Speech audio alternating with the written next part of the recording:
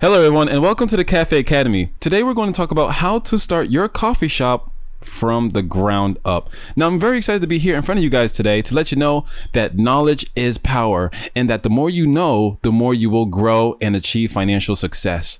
One of the things that could be stopping you from achieving your success right now is the lack of information on how to start your coffee shop. There's a lot of topics that we're going to cover here in this YouTube channel, The Cafe Academy. But in this particular video, we're going to talk about how to create a business plan that will bring success to your coffee shop. First off, before we start, we need to understand what the purpose of a business plan is and how we can make a business plan that works for your coffee shop company. Now, the purpose of a business plan is to use it to explain what your business does, your background, how you're going to operate and make a profit. It will also answer questions about why people should invest with you, how and when you're going to be able to pay back shareholders. Now, a well-developed business plan will provide you with 1. Access to the necessary investments in the bank affiliation with which you plan to work with, Two, a structured plan of action that will show what stages you need to complete in order to end up in a profitable business environment. Three, the most effective software and hardware to maximize project outcomes. Four, confirmation of your commitment to your business while building partnership. Five, a direction towards a source of stable profit after the organization. Six, possibilities for achieving the most important business milestone. Seven, brief and organize information for your potential investors when you present your business. Eight, a strong credibility when you enter your sphere of interaction on an international market.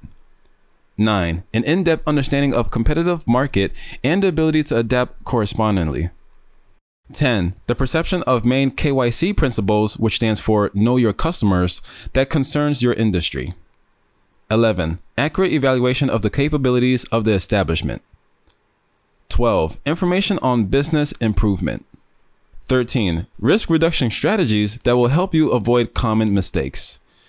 Now, a business plan is a complex document that should include all the information needed to lead you as a coffee shop entrepreneur to a profitable environment. So with all this being said, we are going to tackle on how to create a business plan in order to access the necessary investments in the bank affiliation that you plan to work with. We're going to have a two-part video on how to create a business plan that will increase your likelihood of getting the capital you need to fund your coffee shop business. After watching this video, click on the link in the description to watch part 2 so that you can fully learn how to create a successful business plan. Visit thecafeacademy.com to get your free copy of the Cafe Starter Business Guidebook.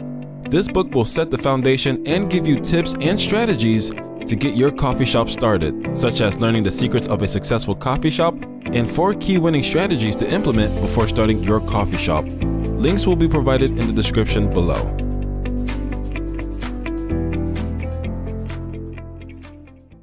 Okay, now the first thing we're going to do is create an executive summary. Now, what's the executive summary and how does this contribute to helping you get the loans you need to fund your coffee shop? There is no precise framework that you can use to create your executive summary. You can be as creative as you would like.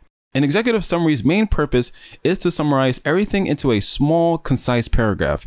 You want to be very interesting and very engaging in your executive summary, which will evoke the interest of whoever reads this and will want to continue reading more to see what else is in your business plan. So think of the executive summary as the cover letter to a resume. You usually use the cover letter when you write a resume to include other additional and interesting information that will intrigue the reader and make them more likely to contact you to get to know you more. So you can, for example, use a picture of yourself performing a certain type of task in a cover letter in a resume, and you can also include a particular situation that has occurred and how you rectify the problem and so forth. You can also follow the same process when it comes to creating an executive summary for your business plan. Today, we will generate a few executive summaries on the spot so that you can identify the pattern and understand the concept of the executive summary.